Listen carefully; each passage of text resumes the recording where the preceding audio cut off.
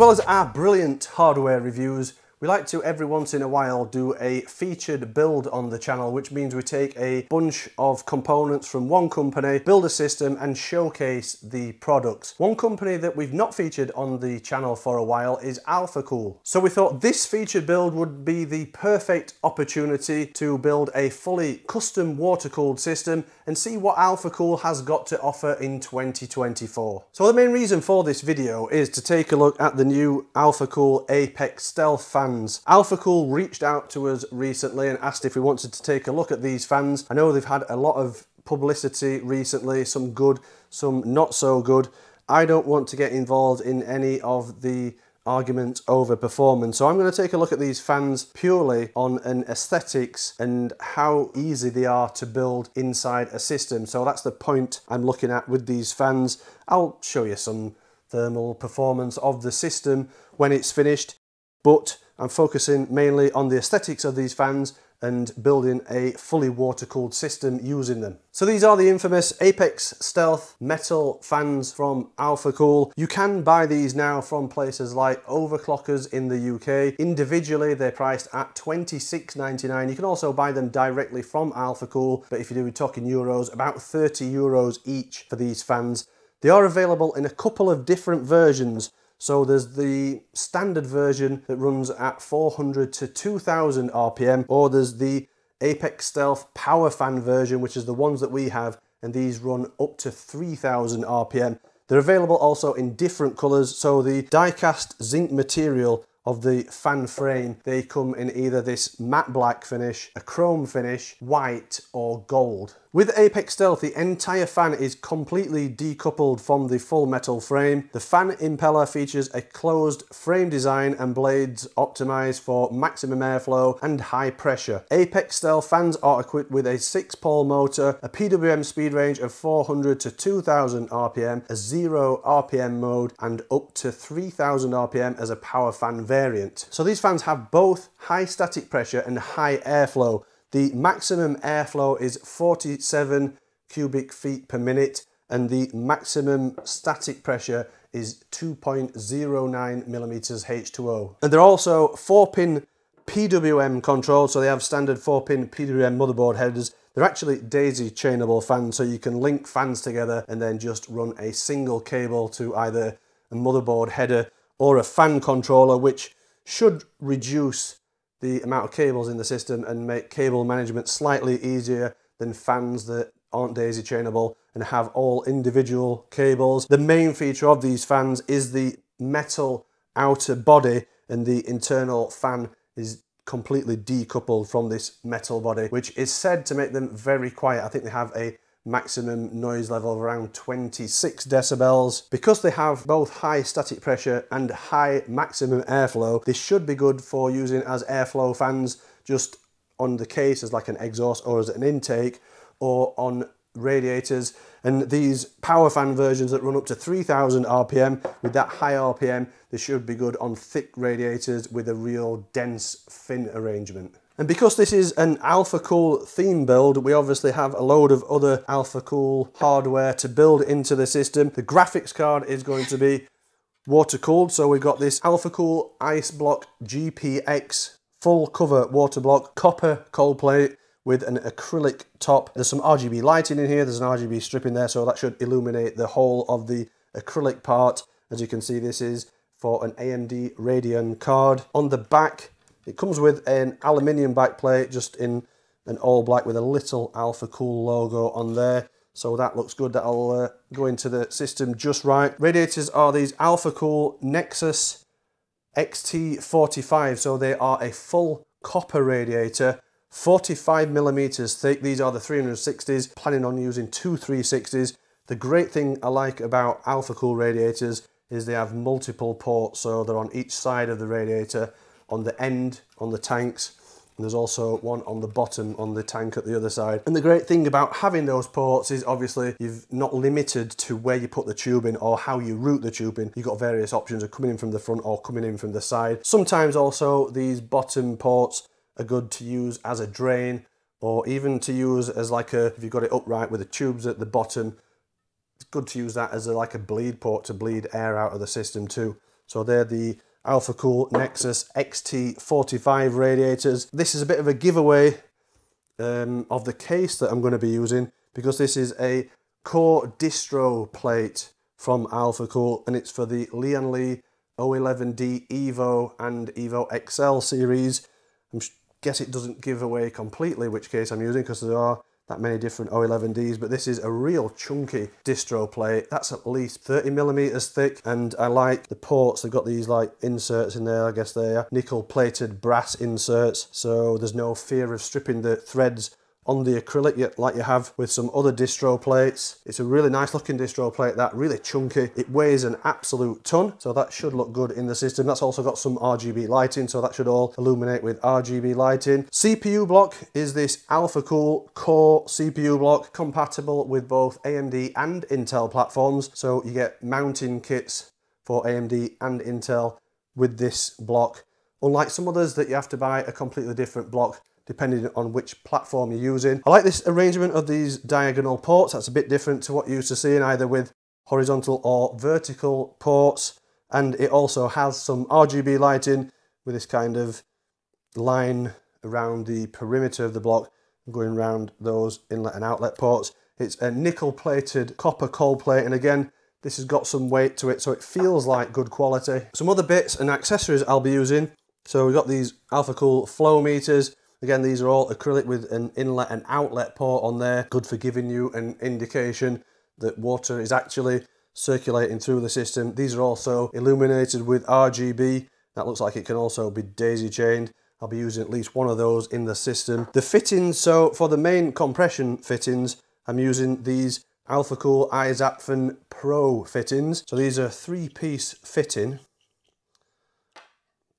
As you can see there, your tubing goes into there. There's an O-ring for sealing there. You obviously slide this rubber olive over the tubing and then the top screws on to create a compression fitting. Got plenty of those to use in the system. They also come with some tube inserts to keep the tubing rigid. For the other hardware in the system, so the motherboard is this Gigabyte X670E Aorus Master. Obviously that's an AMD board. It's going to be based on an entirely AMD system. CPU for this is an AMD Ryzen 9 7950X. And sticking with the AMD theme, we've got this Sapphire Radeon RX 7900 XTX Nitro Plus card. It does seem like a shame to remove all this cooler and install the water block. This is a really nice looking card on both sides. Even the back plate looks really nice on this. Love the look of that card, but we are going to be taking the whole cooler off and installing the water block because it is a full custom water cooled system, including CPU and GPU. The memory in the system is this G.Skill Trident Z5. It's a 64 gigabyte, so two 32 gigabyte modules, DDR5 6400 mega transfers per second. For storage, it's just a single M.2 drive. I'll be using the Corsair MP7 one terabyte PCI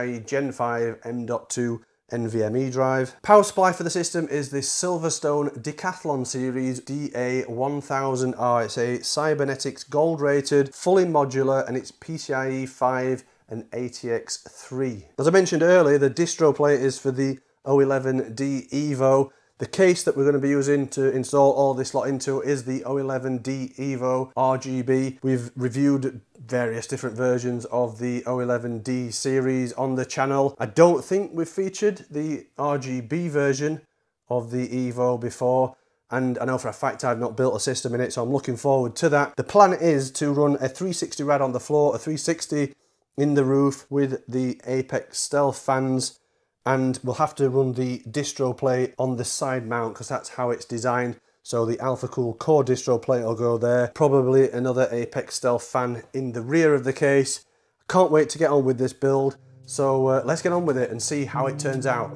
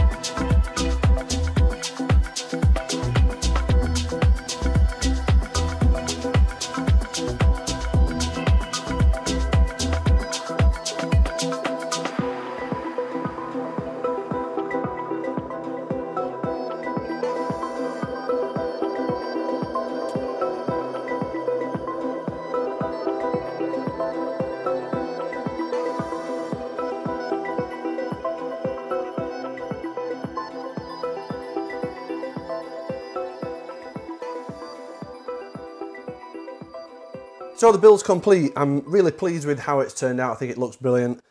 You will have seen from the time lapse, I originally was going to fill the system with some clear coolant and just run the RGB lighting in blue for like an Alphacool theme. But I didn't like how the satin finish tubing looked with that clear coolant in. So I've just added some blue, some Alphacool blue to the coolant. I think it looks a lot better with everything blue. I had to make a couple of minor modifications to things. So the radiators and the distro plate, I had to make some spaces just to get those fitted into the case correctly. The distro plate isn't technically designed for this Evo RGB. It's designed for the standard Evo and the Evo XL. There must be some difference between the standard Evo and the RGB on that side radiator fan mount because the distro plate didn't really line up very well on that side fan mount. The pump and the drain on the back was contacting parts of the fan mount frame. So what I did actually was I found some Intel LGA1700 CPU cooler mount, so the standoffs, they actually screwed into the distro plate and then I just used the thumb screws that came with the CPU cooler mounting kit to attach the distro plate to the fan bracket on the side of the case there. That worked really well. So if you are thinking of buying this distro plate and using it in this Evo RGB. That is a good solution, but you can just make up maybe some 3D printed spacers or something like that, but you will need longer screws. The screws that come with the distro plate, if you make spacers, won't quite be long enough. The great thing with that distro plate on that fan mount is that you can adjust the height of it so that either the GPU or the CPU tubes line up perfectly. The GPU tubes did line up perfectly. I used some 90 degree angles there. I tried to keep the bends to a minimum in the tubing tried to keep everything looking as symmetrical as possible. I think it's worked out really well. The only thing that didn't really line up was one of the inlet ports on the CPU block. I had to put one of those rotary offsets on just to move it up about seven or eight millimeters and then it would line up with the distro plate here. But it looks okay, it's not uh, too out of place, that rotary offset in there. The CPU block in silver might have looked better in black with RGB, but there are some silver-ish accents on the motherboard and some bits on the graphics card and some other bits in the system that are silver. So I think that looks okay. The radiators also needed spacing out slightly because the blanks that go in the ports on the other side of the radiator, they were also contacting with the metalwork on these removable fan brackets from the case. So what I found actually was the drive mounts that come with the O11D Evo RGB, they come with some rubbers and a screw that's got a bare shank on it and they spaced it out perfectly. They were a great option to use those on the radiator, just spaced it out enough so that the blanks didn't get in the way and I was able to then adjust the radiator into position so everything lined up perfectly with the distro plate. So if you are thinking of using some of this Alphacool stuff in this O11D Evo RGB, a couple of helpful tips there that will make things easier for you, but it all lines up lovely. I like how the distro plate keeps everything looking pretty symmetrical and I'm really impressed with how it's turned out. The quality of these parts, I can't argue with it. They all feel good quality. There's a lot of weight. The graphics card, GPU block, that weighs a ton. The distro plate's nice and chunky. It looks good in the system when it's installed. Maybe the RGB lighting could be improved slightly on the distro plate. You can quite clearly see the individual LEDs if Alphacool could find some way to diffuse that, make that look a little better. The three Apex Stealth fans on the bottom radiator. They're acting as intake, so pulling some cool air in through the radiator into the system. The top three on the radiator, they're exhaust, and I've also got an Apex Stealth rear exhaust fan. Currently, the fans are all fixed to around 1000 RPM. They're quiet at that noise level. You can just hear them over ambient noise in this room, but it's not distracting at all. 1000 RPM, you could cope with that noise level, especially if you're using this system for gaming and you're wearing a headset I've been running the 3DMark Speedway benchmark for about 30 minutes now and the GPU temperature sat at just under 50 degrees C. So it all seems to be working very nicely. If you are thinking of picking up some Alphacool stuff and doing a similar build to this, it's all good quality stuff, feels nice, seems to work well in a case like this O11D RGB. I'm quite pleased with how the system's turned out overall and hopefully we'll see more of Alphacool on the channel throughout this year. So that's the Alphacool Apex Stealth build finished. Let me know what you think of the build in the comment section. If you've enjoyed watching the video, make sure you give us a thumbs up. Hit the subscribe button if you're not already subscribed to the channel. If you enjoy what we do here at KitGuru and you want to help support us, you can always head over to the store, pick up some merch, or you could even subscribe to our Patreon. And as always, to catch up on all the in-depth technical reviews, head over to the website